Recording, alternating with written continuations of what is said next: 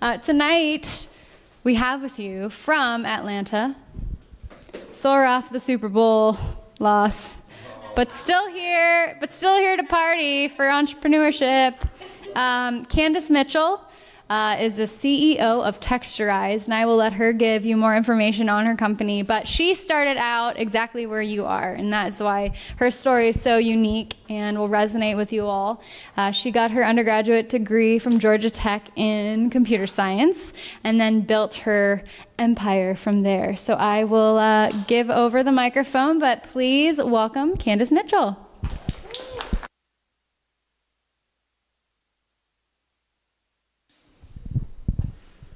Hi, everyone. How are you tonight? I know it's the end of the day, but I really appreciate you all for coming out tonight. Um, I'm excited to share uh, my story with you all, my entrepreneurial journey, um, in hopes that you'll be inspired um, and also motivated, depending on what your ideas, dreams, and passions are. Um, but also to show you how I got started, so you can also figure out, you know, what your next steps could be as well. So. The title of my talk um, is around going confidently in the direction of your dreams, but also for the women in the room, how to dominate in a uh, field that's purely led by men. Um, as you look at the STEM fields, um, women are highly underrepresented. So I wanted to share um, some tips and some um, strategy around how to remain confident in those um, types of settings. Um, so, thanks again for having me here today. Um, I am very excited to share um, my journey really over the past, I would say, seven years from idea to a um, full business. And one of the main things, oh, yeah, sure. You can keep talking. Okay. One of the main things that I um, really wanted to emphasize tonight is that the ideas and dreams that you have can literally change the course of history. And I know that seems very far fetched, but if you think about it, most industries and trends um, are really um, set 10 years in the making. So you won't really realize that the idea that you have is so innovative that it will literally change the way the world works in the next um, 10 years. And so, uh, one of the main things around um, how our ideas and dreams can change the course of history is we can think about the state of the world today, which um, a lot of us can really share that it seems that we're in a dire need of change, a dire need of innovation, um, a dire need of more. Um, people who are set to make a difference and make a change in this world. And so I wanted to think I wanted you all to think about what is the unique contribution that you all will make to the world with your ideas and your dreams as well because you're literally changing the course of history. And so some of the words we might think about as we think about the state of the world today is, you know, chaos, fear, um, misunderstanding, um, I had to sit and, and reflect about where we are today and what I can personally do to make a difference and how my entrepreneurial journey is making a difference um, for others. And a lot of things that we're getting passionate about, maybe even angry about, or even getting very um, in a sort of uh, a state of activism about. I believe that it's all meant to awaken our true purpose. And so what it what I call it is is shaking us to awaken us. And so the ideas and the problems that are making your mind go crazy, go a thousand times a minute, you know, having those light bulb moments about needing to make a difference, wanting to make a change, you know, it's really meant to awaken a deeper purpose that's inside of you. And so as I thought about, you know, what problem can I solve? Um, it was a little different because we're engineers, and the fact that we're engineers and we have really deep insights into technology, we can literally tap into every sphere of influence in how the world works. So that ranges from business, government, arts and entertainment, media, religion, family, um, a lot of ideas that center around um, making a difference in the world. And so that is called following your calling. And so as I thought about making a difference in the world, discovering my purpose, following my calling, I asked myself this question actually when I was a senior in college. So I'm not that much older than you guys, it was only a few years ago. Um, I felt like I had a calling to do something different. Um, I wanted to invent something that would impact people in a great way. And I remember sitting at my computer one day, um, totally over my CS homework, you know, feeling kind of bored and disconnected, to be quite honest. Um, I was struggling in my classes, and I really felt that I needed to connect something that I was passionate about. And as I thought about, you know, growing up as a child, loving technology, um, another thing I was incredibly pas- passionate about um, was hair. And I thought I wanted to be a hairstylist at one point in time, but um, computer science really um, painted a more vivid picture to me in terms of what I could actually build in terms of um, software or even building computers. And so I decided to go down that route. But I have to be honest that sometimes that it really uh, was hard for me to be the only woman in class, sometimes to be the only black person in class. And I knew that if I was going to stay connected to computer science and engineering, I needed to do something that I was very passionate about. And so since I thought, okay, if I love hair and I love computer science, what could I do to solve a problem? Because that's what entrepreneurs do. Entrepreneurs solve problems times. And I thought about one time when I had a horrible bad hair day. And I know that sounds like really like a bad hair day. Like for women, I know a lot of women in the room can relate. It's traumatic. Like we don't even want to leave the house, don't even want to leave our rooms. And the reason that happens because I was using the wrong hair products. So my hair became very unhealthy. It was dry, it was damaged, it was breaking off, and I literally had a meltdown. And so I thought to myself, you know, there should be some type of software that could tell you which products are best for your hair. I mean, we get recommendations for everything else online. You know, how can we apply that to hair and beauty? And so once that light bulb um, once that light bulb went off, I thought, you know, I have to do something to turn this idea to a reality. And so, one of my very first steps was I entered my first pitch competition. So, this is literally a picture from the first time I did my first pitch. It was called the InVenture Prize at Georgia Tech, and it was actually a setting very similar to the Generator Labs here, and, and I'm sure the pitch competitions that you've entered before or you're thinking about entering. And so I pitched my idea. Um, it was the first time I tapped into, you know, what entrepreneurs do, you know, researching your market, um, figuring out the product that you're going to create, understanding your customers. And so I felt very confident um, in the problem that I was solving, the market I was tackling. And as I started to pitch, I thought that, you know, something innovative was taking place.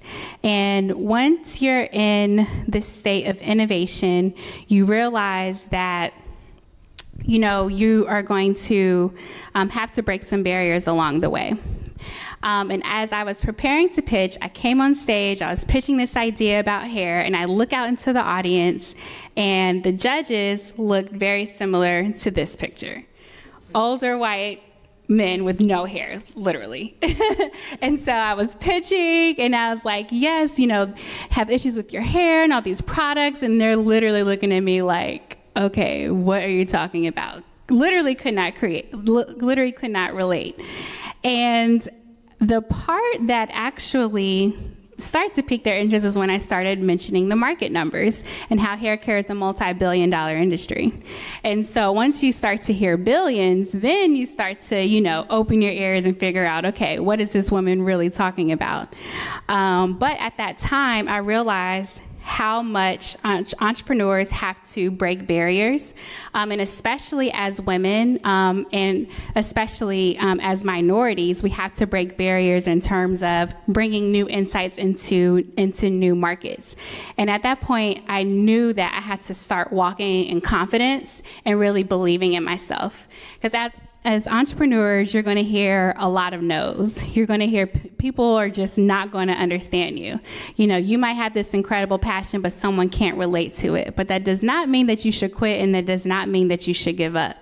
And so I started this path of, you know, researching my market, you know, already preparing that some people might not really have the same insight that I do. So, how can I establish those relationships? How can I remain confident in myself and not have self doubt, not be my own worst critic because someone just doesn't understand? I kept tackling and tackling and tackling um, those issues. And as I started to break those barriers, um, I realized that, and as all entrepreneurs, there will be a point, there will be a moment in time when you start to rise up. And I was actually going to make a wonderful um, quote about the Falcons, but unfortunately, Super Bowl just did not go our way. we were hyped for the whole game until the end. Um, but this phrase in particular is so true because um, when you're an entrepreneur, you have to rise above challenges every single day every single day. And so it didn't matter if, you know, the person I was pitching didn't understand. It didn't matter if, you know, um, bringing innovation to the hair care market was going to be a huge challenge and and take millions of dollars. None of those things mattered to me. I had the had the drive to really understand what could be done different in this market and how could I really establish this company. And so um, fast forward to where I am today, you know, I've been able to accomplish many things in a short period of time. Being on the Forbes 30 Under 30 list, being honored as a woman in STEM at the BET Honors, being in national magazines. I mean, working with sharks such as Daymond John. You couldn't tell me that when I was sitting where you are today, that this would be my life, this would be my journey, and this would be my story. And so, what I want to share to you, share to you today is how do you take that first step? how do you actually take an idea, move it into reality, and actually create a business out of that? And I will say this was the first step for me. I entered a startup accelerator program. And I know you guys have those opportunities here, and it's very important for you to take advantage of them. I entered a startup accelerator program called Flashpoint um, at Georgia Tech. And it was pretty much a 10 week boot camp on how to prove out your idea, how to get in front of customers, but also how to make sure that you are building a product that people actually need. Um, a lot of us come with up, come up with ideas all the time, but is it really solving a real problem and meeting a real need that people will actually pay for? That's what a startup is. You're searching for that sustainable, repeatable business model um, that you can expand to a market lar- large enough to build a sustainable company and to turn a turn a pro- profit. And so we also learned how to build a team. I started with three co founders um, to start my company. We all had a range of disciplines um, that brought um, value to us starting up. Um, and then we also um, went through a course of customer discovery. And so those are really the critical initial elements to starting a business, how to validate your idea, and how to prove it out. And so I want to share more about the journey because I think the way entrepreneurship and startups are glorified today, it seems like you should be an overnight success. It seems like you should go out there, pitch, get a million dollars, go build your your app, get thousands of users, and everything's going to happen just like that. And honestly, it's truly a journey. We started in 2012. It is now 2017, five years in the making, and it really still feels like just the beginning. And so I always like to remind people that it's not a race, it's a marathon. And guess what? You're going to fail multiple times, and it's okay. I think that it's important that we face failure and know that we should expect that because failure gets us to the next best step. And that's all you have to do. You have to endure, you have to persevere, and you have to remain courageous on the path of entrepreneurship. And so, after I graduated from college, um, I actually did um, decide to go into corporate America for a year. I wanted to get work experience um, and also um, have the opportunity to work under a minority led uh, company, which was um, PepsiCo. I worked in information technology under an amazing CEO, Indra Nooyi, um, who led a performance with purpose mission for the organization.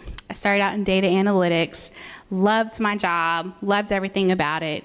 Um, but I actually had the opportunity to apply to Flashpoint um, and continue on working the idea um, that I researched in undergraduate, um, my undergraduate career. And um, I actually got into the program. So I did, I made one of the drastic moves and I quit my full time job and I went straight into entrepreneurship um, I decided to just put it all on the line and really go for it 100%. And um, after getting into um, the program, I felt like my whole world changed because you actually understand how people design these products that we're addicted to and use every single day. I mean, Instagram, Facebook, you know, think about the things that you use like literally every single day. Think about the markets that have been innovated on demand services, content streaming services, music, transportation, food. Everything has drastically changed in, in the past five years and will continue to do so. And during this time, we learned how to do customer discovery. We actually interviewed over a thousand women one on one about their hair challenges. We would start people in the streets, strangers. We would go to malls, grocery stores, um, you name it. We would really get to every potential customer that we could possibly get in front of. And we learned an incredible amount that really guided us on how to build our first product. Uh, we also learned a lot about fundraising. So you will understand how much money it takes to actually launch your idea, um, but it's also important to understand what is the business model behind your idea. How does your idea make money? How are you pricing it at a point where your margins have enough profit for you to reinvest back into the business and grow um, your company? We actually took a uh, non-traditional path to fundraising because as i said a lot of people didn't understand us. Your traditional investor looked a lot like the judges i showed on screen that i originally pitched to. And so a lot of people didn't really have the insight um, enough to put their money uh, behind it so we took on traditional route we did pitch competitions we raised over $200000 in pitch competitions alone and so that the resources are definitely out there. Um, you just have to get out there, find it, and have the confidence to step out on that stage and pitch your heart out. Um, we also did a crowdfunding campaign on Indiegogo, which um, allowed us to bring another $25,000 into the business. Um, and so fundraising can, um, there are many paths to fundraising, and I don't think that there's not, no such thing as not having the money you need to start up. It's definitely out there. Um, we also moved into product development, um, learning how to uh, bring more innovation into established companies. You know, we met with companies as big as L'Oreal, um, a lot of the established giants in the market at the time. Um, but the one thing that made a difference to where we are today is figuring out our business model. Um, I think sometimes we as entrepreneurs, we get so passionate about what we're creating that we don't think about the business behind it, especially as engineers. How many engineers are in the room? Okay, so that's almost everyone. and so we have a tendency to get so passionate about the product like it does this it has all these features you know um, that is really kind of where um, our safe our safe spot is because we know we can build. But how do you actually? What is your go-to-market strategy? How are you going to market it and get it out there, get it in front of people? You know, how do you um, figure out um, your distribution strategy? How do you establish key partnerships? That's where it becomes important to form a team of people that have experience in other areas, experience in business, experience in marketing. So as you're here, you know, thinking about entrepreneurship or even working on your ideas now, think about how can you work with students of other majors um, outside of engineering? Because they're just as valuable in a different way. They bring a unique set of intelligence and perspective to how to grow the business. Um, and then lastly we got a lot of national recognition um, at early on too because of the innovation that we were bringing to market. Um, and this all sounds sounds like a lot. And to be honest, I'm a first time entrepreneur, so I was actually learning this as I go. And sometimes we feel like, oh, we need to get experience here, or we need to get a business degree, or we need to do this or that. But actually, you know, especially in such a great environment like this, you have all the resources at your fingertips to literally learn as you go. And so the what what we were able to build today is our company. Um, we have a consumer brand, Myavana, in which we provide personalized hair care recommendations by doing an analysis of your hair. So think about companies like 23andMe or Ancestry.com, but for hair. Our customers actually send in their hair strands to our lab. Our lab is at Georgia Tech. We do a um, proprietary method of analyzing, uh, analyzing the hair, and we're able to correlate that with ingredients and products that are going to work best for your hair. So we're eliminating the trial and error process that a lot of women go through in terms of trying products, something doesn't work, you know, you throw it out, you waste money. Um, in my instance, you have a horrible hair day, you know, it's, um, really like a scavenger hunt to figure out what's best for your hair. And honestly, we spend billions of dollars on products um, every year.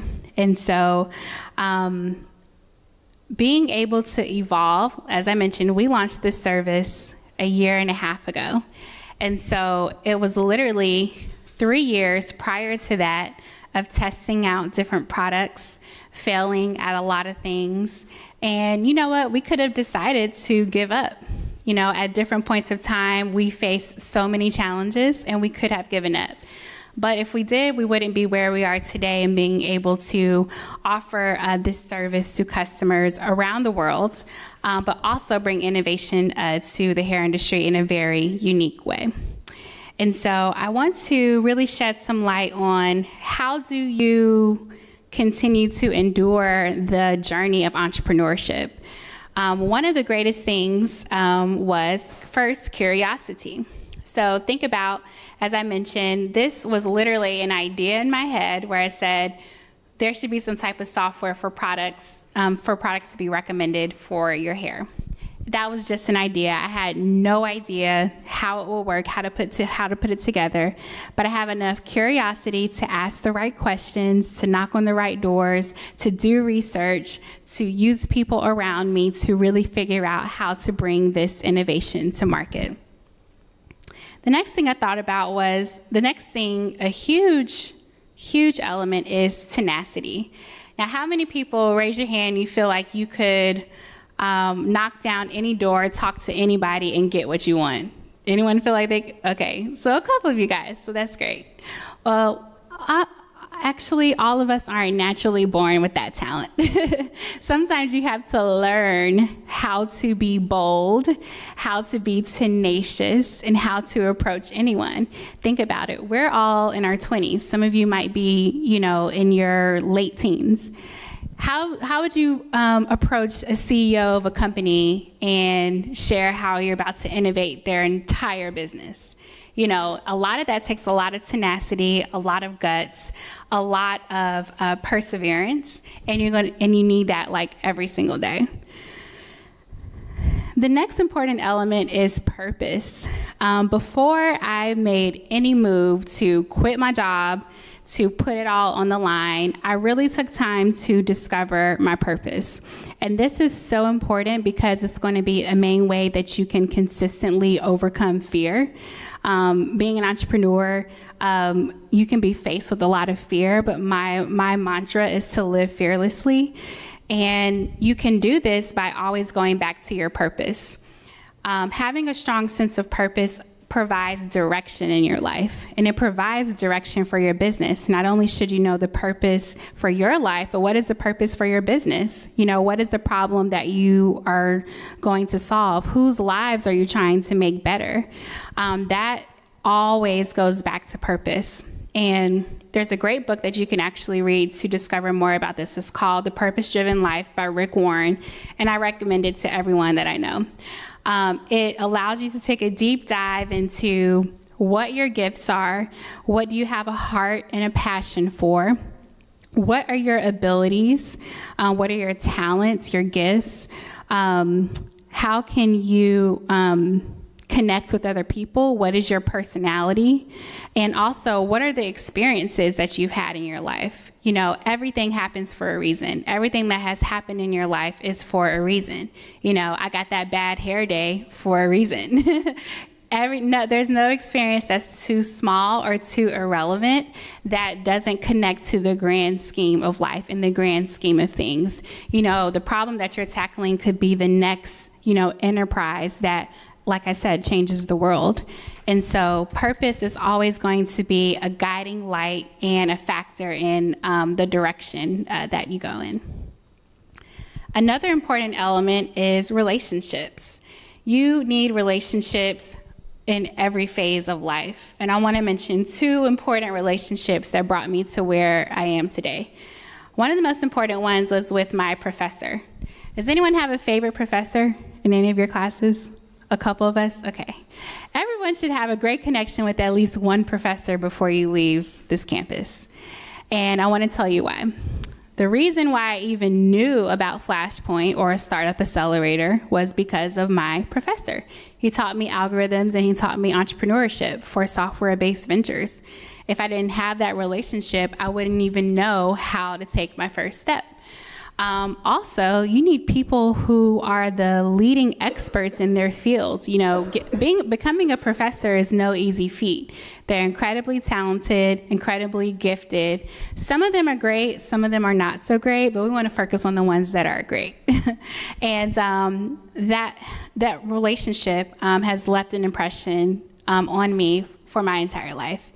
And um, it's important that we not only go to class, do our homework, and then become disengaged, but figure out how can you build relationship with the people who are established experts in your field, um, and then additionally the people who are in your classroom as well. Um, another important relationship are my parents. So the reason I was able to quit my job and just go into full-time entrepreneurship was because of the support of my parents. I could go back home and crash on their couch for an indefinite amount of time until I get my business to where I wanted it to go. Now, I can't say that maybe they thought I was I was crazy when I told them that you know I wanted to quit my job and do this. Um, they were actually you know very supportive and welcomed me home with open arms. Um, but you're always going to need. Um, their support, but I will say if you ever decide to try to make a, a, drastic change like I did, please give them a heads up first. Don't just show up at home with all your bags and be like, hey, mom, join a startup she's going to be like, What? You doing what? Especially after getting such a great education. You know, imagine me like I have a, a degree from one of the toughest schools in the whole entire world. And I'm like, Okay, um, I'm done with that corporate job. I'm going to going to do a startup. you know, it sounds crazy. Um, and I would say if you are going in that direction, start giving them hints and say, hey, you know what? this is very important to me, or, you know, this is a change that I really want to bring um, into the world through this company. And they will certainly support you in the best way that they can. But that was certainly um, one of the most valuable things I could have had. Um, but also, it emphasizes throughout the course of um, being an entrepreneur and growing as an entrepreneur, relationships with mentors, advisors, relationships with potential partners, those are all um, valuable. And I know sometimes we can be shy or antisocial or not have great communication skills. I definitely had to work on that, but those are key things to building great relationships that are always going to be valu- valuable for you at every stage as an entrepreneur. And lastly, one of the greatest elements of enduring this journey is having faith. And this is having faith in yourself, having faith in God, or a greater force that you feel is guiding you um, and guiding your life. Um, as you're building your company, you're li- literally creating something that does not exist. Um, and sometimes it might feel that you are stuck. You might feel that you don't know the answer. You might feel that you don't know the next step. But you always have to have faith that the path will be laid out for you. And I always think about you know, Thomas Edison tried 10,000 times um, on his invention for the light bulb. Now, what if he did not have the faith that the 9,000th time, that was just it? You know, we wouldn't have a lot of inventions that we have today.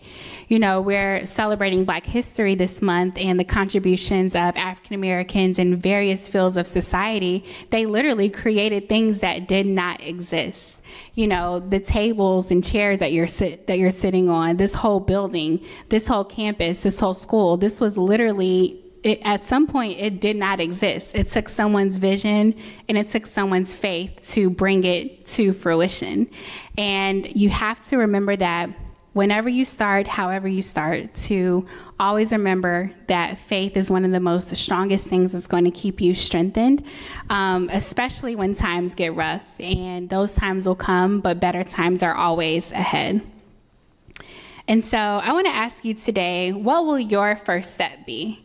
You know, as I look back over five years ago, I would have never imagined that that first step, just going, taking the step to going into a startup accelerator, not knowing what was ahead of me, not knowing how to build a company from the ground up, that I would have the privilege and the honor to be in front of you today and say that we have progressed. And five years later, you know, we're still on the path to build, building a great business.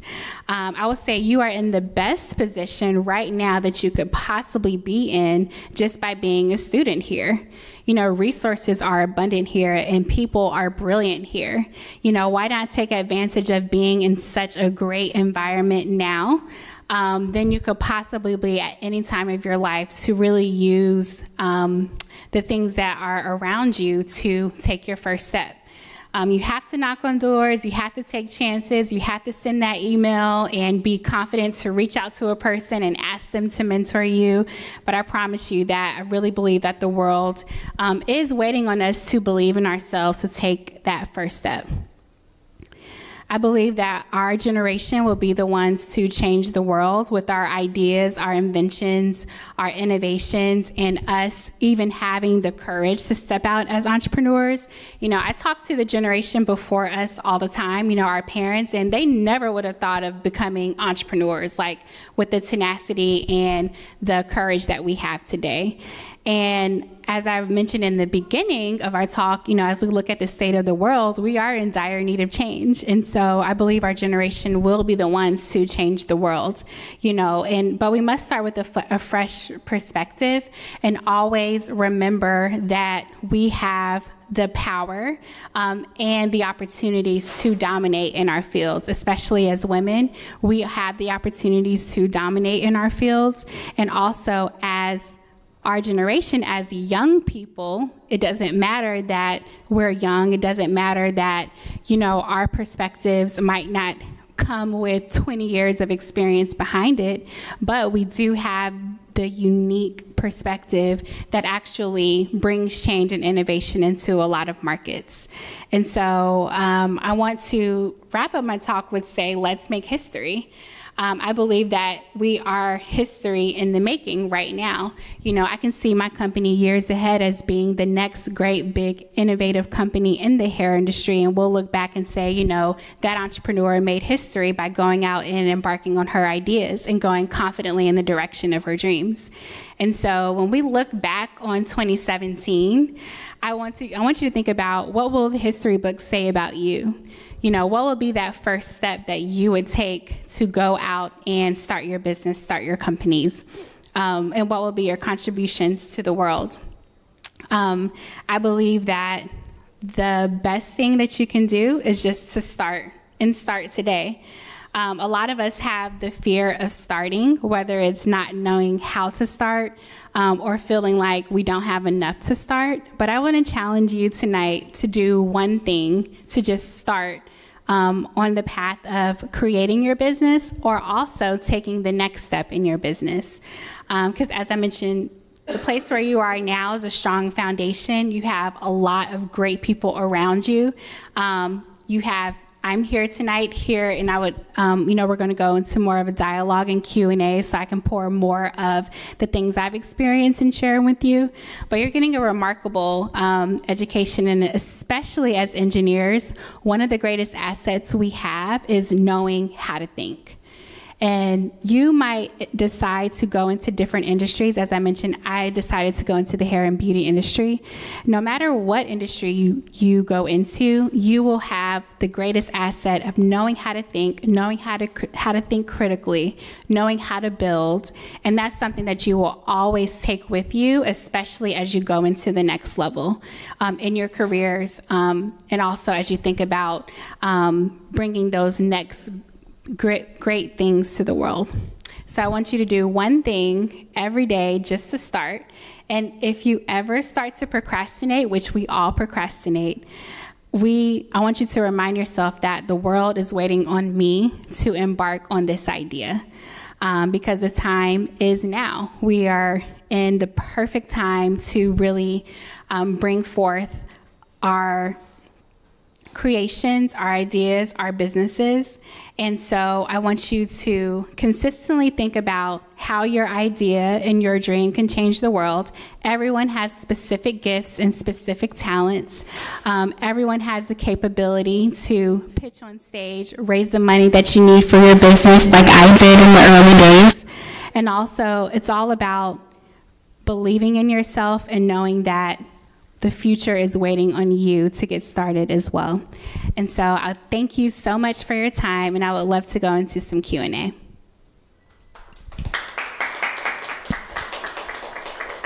Thank you. Yes. Oh, thank you for that reminder, Dustin. Okay, and please share uh, your name and your major. Hey, I'm um, I'm a freshman, Yash and I'm a CS major. Um, my question is, so you were talking about how you uh, faced a lot of uh, discrimination for um, for being a woman and for being black. So, um, can you like give some examples of that? Sure. Yes, nice to meet you. And so um, I will share some examples, and the most interesting thing is they're oftentimes indirect. It's not something specifically said or specifically done, but it's like something indirectly where you know, okay, something is something's kind of off here. And so I will say one of the main things is with raising funding. Um, you can look at the um, statistics that, especially as black women, we're less than percent um, in in our across the board. Um, and so, but one of the main reasons is um, there are specific patterns of success that seem like that is the template or the way that we should measure how we um, assess entrepreneurs. And oftentimes, you know, that particular pattern of success is white men. You know, if we look at, you know, the top entrepreneurs, especially in the tech industry, even people that I look up to, you know, Bill Gates, Steve Jobs, you know, the greats.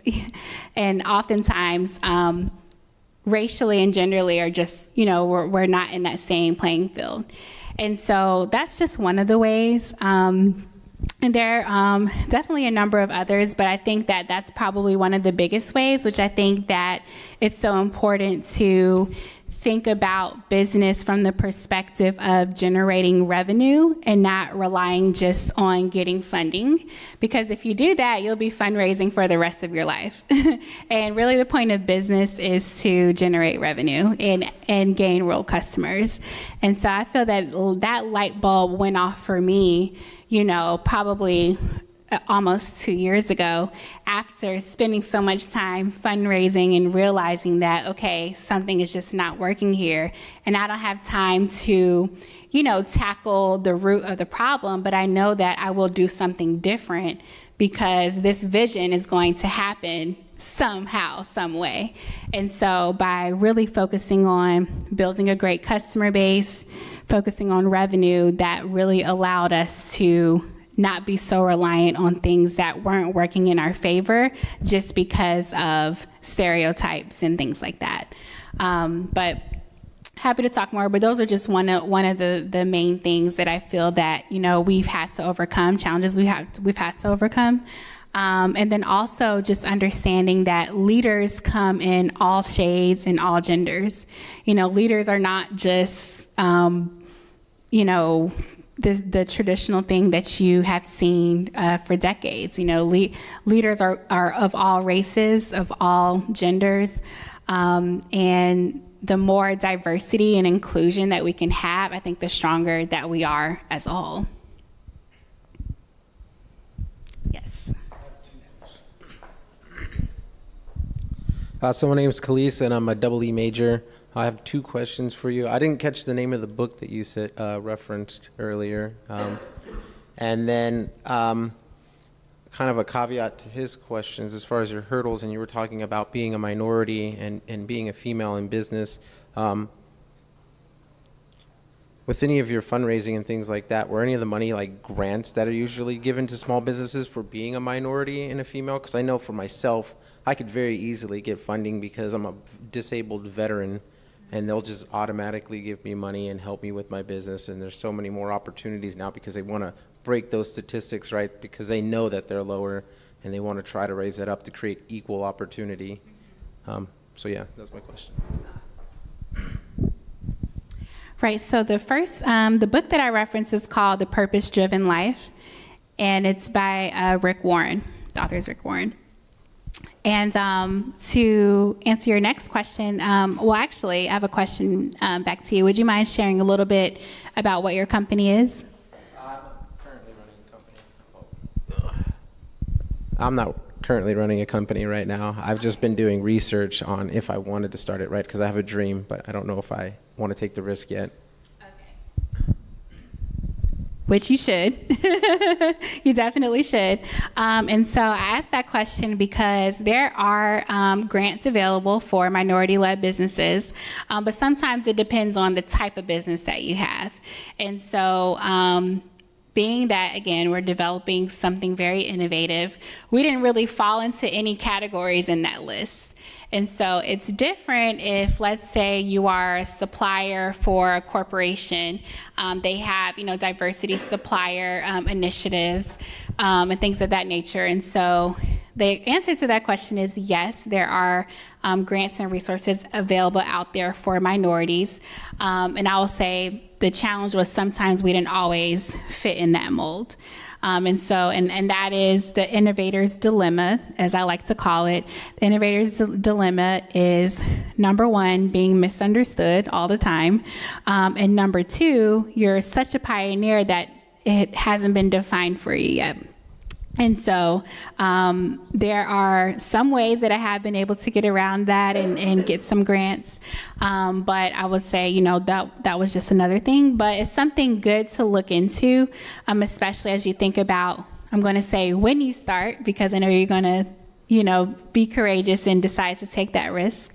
Um, but it, I think if we would have spent a lot more time um, assessing the funding landscape, we could have planned a lot better.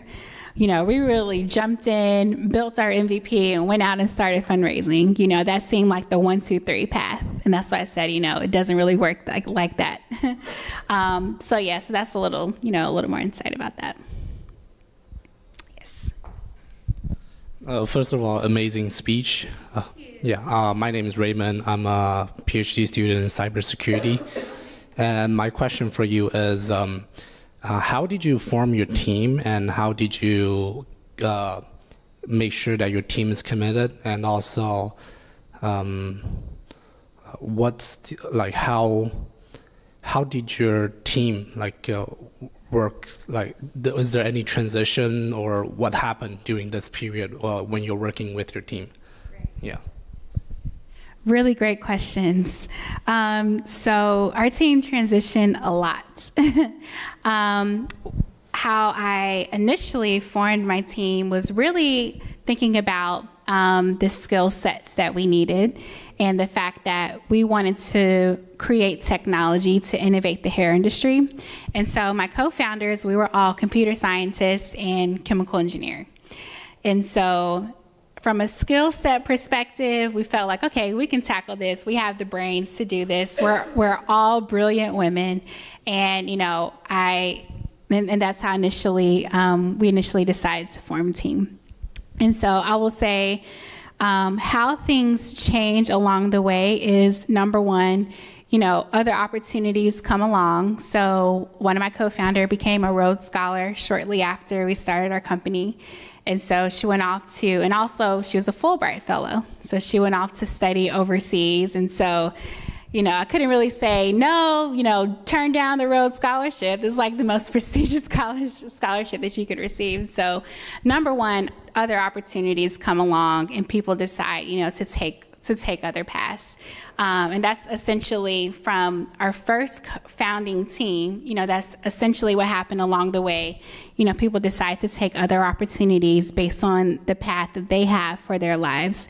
Um, because I also will say, you know, this is not easy at all, you know at some point you, you either adjust to the sacrifices or you say you know what I've, I've put my all into it and now i'm going to pursue something else I would say another reason um, how your team changes or grows is you start to figure out what you really need um, to build your business. And so at some point, once you have the product built, you really need to know how to market that product, how to grow your customer base, how to form partnerships.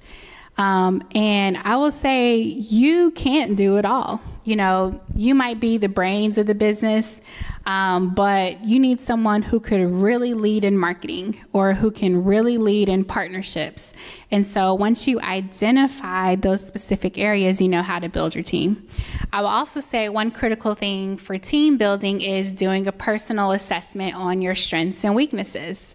You know, you have to know what your strengths are so that you can hire people who can help compensate your weaknesses. Um, that's another critical element, especially if you're the founder of the company, because everything, you're really leading a lot of areas of the business in the early stages. Um, how our team has transitioned over the years, you know, we've big, we've been as big of a team of 12 people down to three people, and you know, it, it changes. Sometimes excuse me, sometimes it changes based on the funding that you have. And sometimes you have to scale back um, to really figure out how to build your product or how to grow your business or how to get the funding that you need to continue on. Um, and then over time, you'll start to get better with hiring the right people um, and knowing who's a good fit for different roles. Um, one more thing I'll leave with you in terms of um, a good way to hire is to look at three things um, their skill set, the second thing is their mindset. Um, and I will, in, in the area of mindset, I will also put their character and their values. Um, and honestly, I would weigh that a lot more than the skill set alone um, because you would rather work with a person that has the right mindset and aligned with your values and, and your character than someone who just has an awesome resume. And then the last area I would say is make sure they're a good culture fit for your company. Um, that's really important because in the early days, you're going to be such a small team. You have to have a company culture that keeps the team motivated, keeps the team, you know, um, pressing forward. Um, and you have to make sure they're a fit because if they're not, at some point they're going to disengage and they're going to just, you know, go to the next company. Um, and so those are three, I think, really critical things that will help you with team building and understanding that, you know, you may fluctuate time to time, um, but you know, as long as everyone stays committed to the vision, then you'll be just fine. More questions? You have one? Let me pass the mic. Uh, I have read a book, Lenin. Uh, she is one of the director in Google for YouTube channel. So like she used to face this issue that during the conferences or the meeting, uh, during the meeting specifically, she was the only lady in the conference like meeting who used to give pitch the ideas. So the other people like they they were not taking her very seriously or something. So she worked on her idea on her own for months and when she designed a small working prototype so that time the upper management they actually realized okay yeah this like the idea had some potential. And that's how the youtube many other features came into existence. So did you also face any time this specific kind of issue like when you are trying to pitch some idea but people are not taking you seriously or something. Yeah for example at the first time you are pitching in your idea and the judges were not even looking. So how did you overcome all to this particular problem? So how do you finally kind of get them pull them in and, and get them to understand but also help you implement what you're what you're pitching or to integrate what you're pitching. Um, that's a really good point because i think that um, it really comes down to number one knowing that you are building something valuable and number two not taking no for an answer. And so going back to your example if you know that person felt like what they were working on wasn't important enough to continue working on it and to continue pitching or, or presenting it to upper management, that would have never happened. And so I think that those are two critical things um, because if you don't believe that what you're building is valuable, you're going to believe what they say. You're going to believe that, yeah, you know, they don't get it. I don't know why I'm working on this. Let me go on to the next thing. Um, and so it's important to always stay true to knowing that you're building something valuable, um, but also, you know, having the confidence to not take no for an answer. And I have to say, you know, I have to admit, the first few times it was kind of rough. You know, I, I, I have to say, you know, I had to, at the end of the day, I, I had to kind of pull myself together and and be willing to wake up and try it again. But at some point you're just like, you know what, I don't care what you say. This this is great. And you start to have, you know, that um, that attitude of knowing that, you know what, I'm going to continue working on this or continue pushing this until someone gets it. And then that's when it kind of like magically comes together. And then everyone is like, oh, yeah, I loved that when you built that, or I loved that when you pitched, blah, blah, blah. So, yeah, at some point, the tide will turn, and then, you know, everyone is like, yeah, that was such a great idea. so, there's just, yeah, a few thoughts.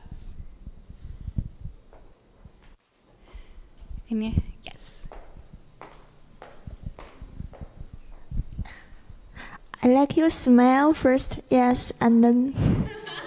yeah, my name is Dong and my major is electrical engineering. Uh, I'm now going to ask some big questions. Uh, I just wonder uh, how your life every day, um, specifically this day, uh, when how I mean the time you get up and what do you do in a day. Yeah, that's my question. I want to know the life of an entrepreneur? Yes, that is my question. Thank you. So you want to know the real deal, basically, the real life of an entrepreneur. So, you know, I'll be I'll be completely honest and transparent and tell you what my day is like. So, um, I wake up around 6 a.m., 7 a.m.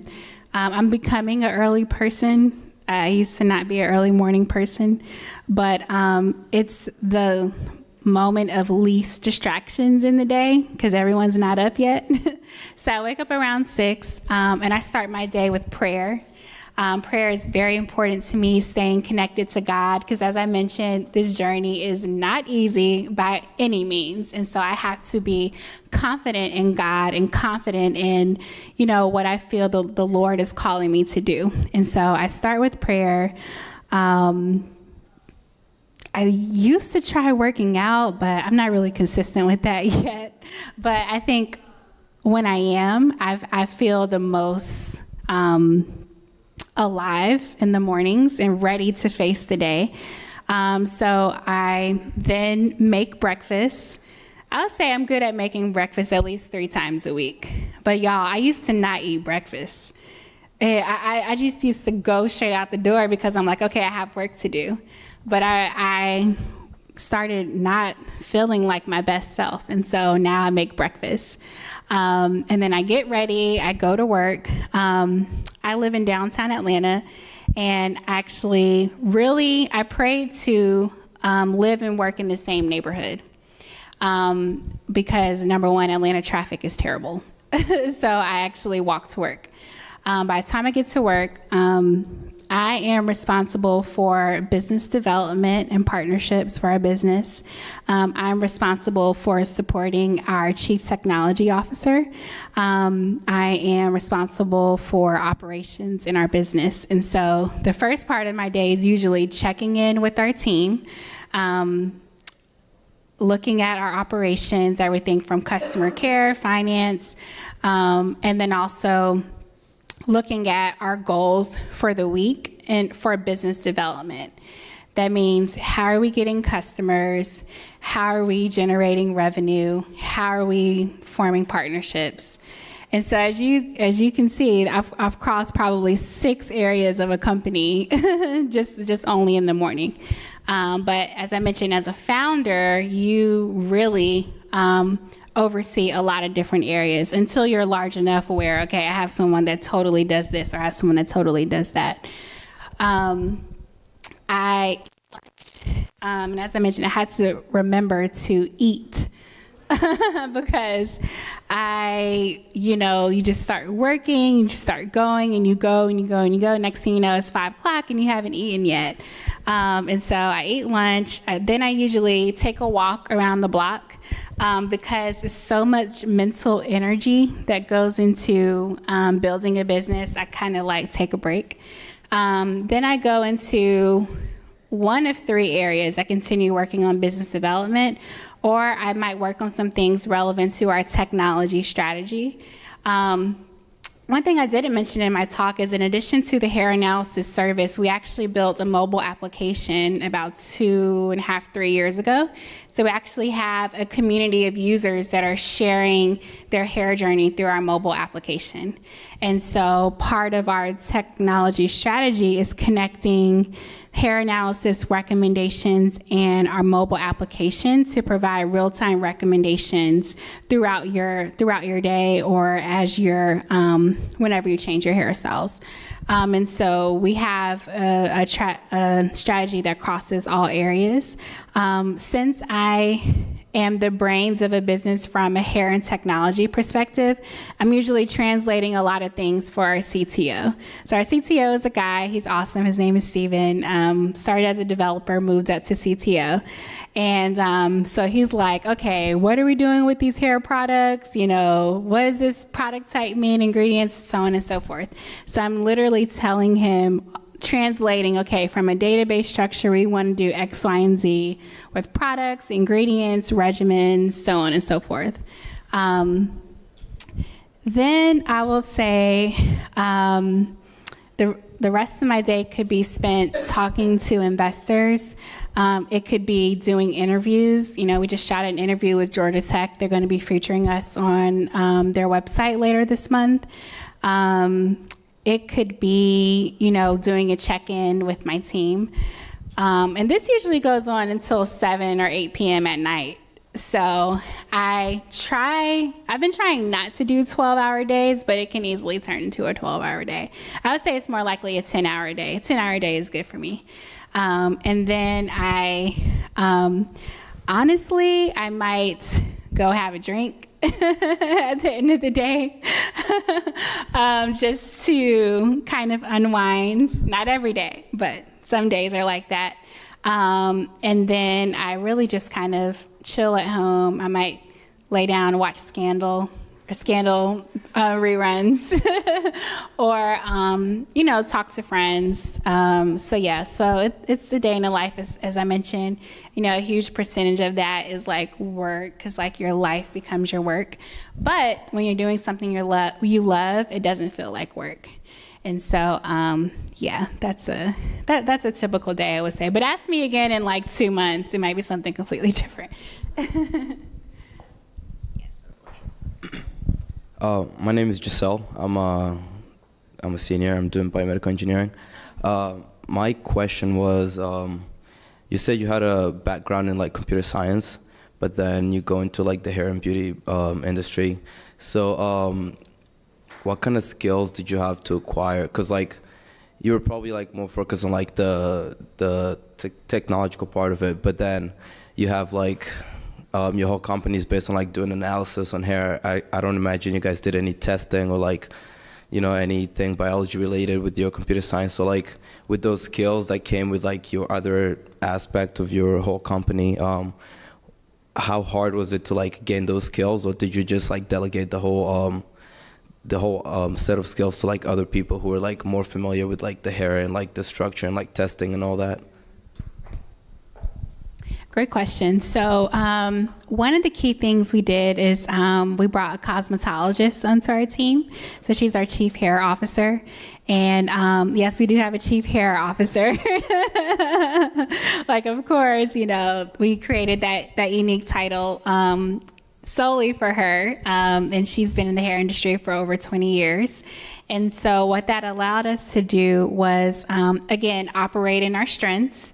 Um, her bringing the cosmetology knowledge, the hair care knowledge, um, and us staying strong on the technology side, how to build this recommendation system.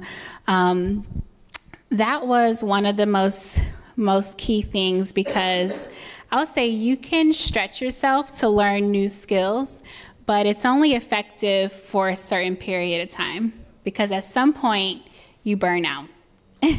and you know that definitely happened to me. At one point i was not only the ceo but the cto of our company as well. And so that became a huge nightmare um, when you're working literally around the clock because it's not that you don't have the skills it's just that you can't effectively execute on that day in and day out. And so I will say there are going to be some phases where you do have to stretch yourself, but I think that you have to keep the long um, the long term in mind to understand, you know, how can we effectively execute if we need this area of our business covered.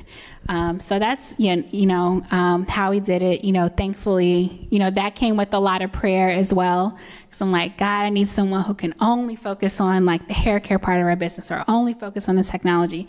Um, and then just putting yourselves in the right positions to meet those kind of people. And so you should always continue networking. You should always um, continue to seek out opportunities, ask people, um, and then you'll those people will start to come start to come to you. Any other questions tonight? Sure.